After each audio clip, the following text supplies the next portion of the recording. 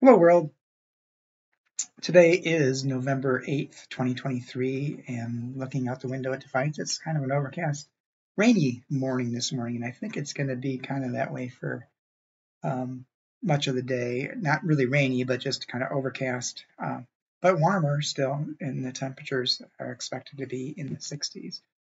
The devotion for today is entitled Enough for Today written by Vicki Kemper, and Vicki bases the devotion upon Matthew chapter 6 verse 34, New Revised Standard Version Updated Edition. So do not worry about tomorrow, for tomorrow will bring worries of its own. Today's trouble is enough for today.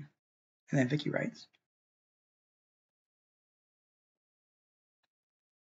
privileged person that I am, hopeful person that I am, person of faith that I am. I used to hate this verse. Today is not about trouble, I insisted. Why would Jesus say that? Today is a gift. Every day is a gift. Easy for me to say. But for some folks, today is a bottomless trunk overflowing with troubles, much like yesterday and the day before. And tomorrow doesn't look much better.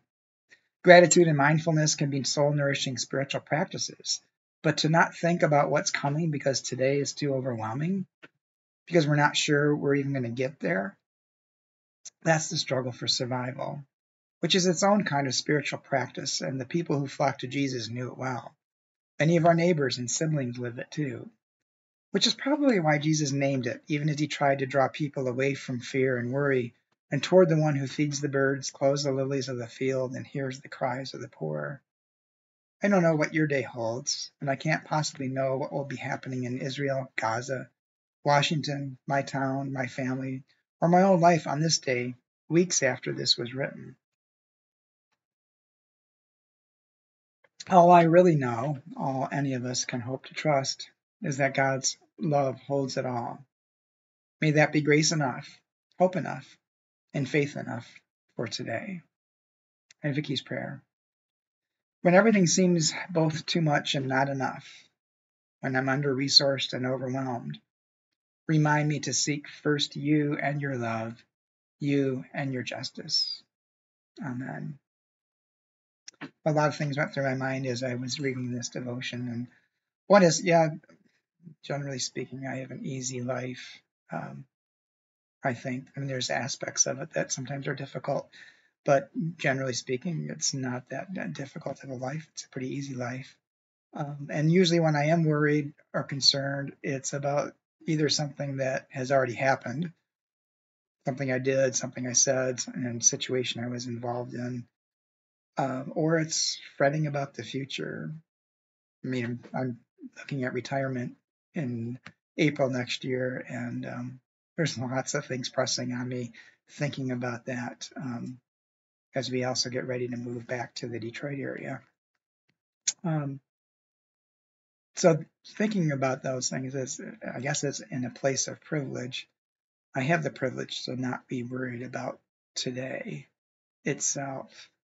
Um, and maybe that's what Jesus was trying to get to is the, the people who are really struggling, who don't know what tomorrow will bring, just get through one thing at a time, get through today.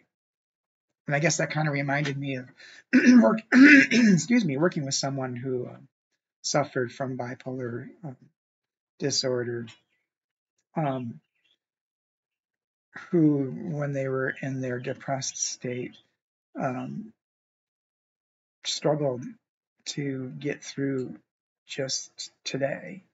And we would often talk, and I would uh, encourage the person to find one thing, a thread to hold on to, to accomplish, to get through just today. That was all he could do, and that's all that was required was just simply hanging on and getting through. Luckily, I've never really been in that kind of a situation specifically.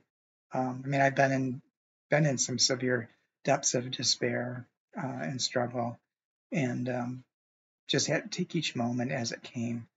Um, I think that's what Jesus was trying to get at.